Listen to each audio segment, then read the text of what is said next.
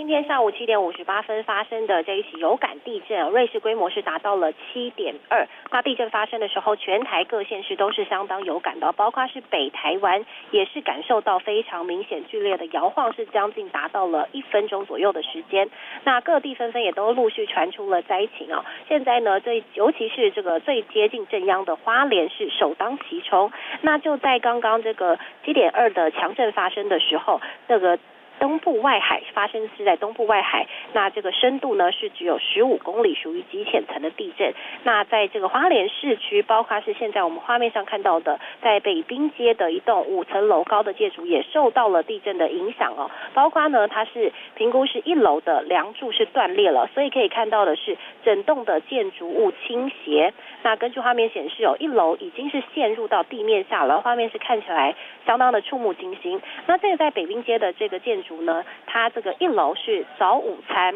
所以呢，包括是在这个路面上倒下去，所以二楼直接就变成一楼了。当下发生的时候，路边的车辆都是紧急暂停停驶的，那路边的民众呢也是尖叫不断。那从画面上可以看到呢，包括是一楼消失不见了，现在都陆续的持续在救援当中。那除了在北滨街这边之外，包括是在花莲市区也有传出十层楼的大楼是倾斜摇晃摇摇。坠的状况，里面呢有这个百呃有上百名的这个住户，也都是在陆续的疏散当中哦。那包括是有三大一小受困，现在呢都已经在进行救援当中，也已经将人平安的救出了。那包括是我们还有看到的是，呃，除了在这个市区啊大楼倒塌的状况，像是在花莲崇德，经过强震之后，也都发生了这个山体的土石的崩塌，现场呢都扬起了大片的沙尘哦。死伤状况呢还是不清楚的。那整个剧烈摇晃之后，花莲的这个山壁是直接的山崩了，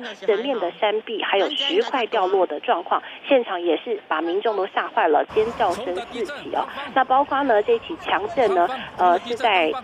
第一起在七点五十八分的主震，规模是达到了瑞士七点二的强震。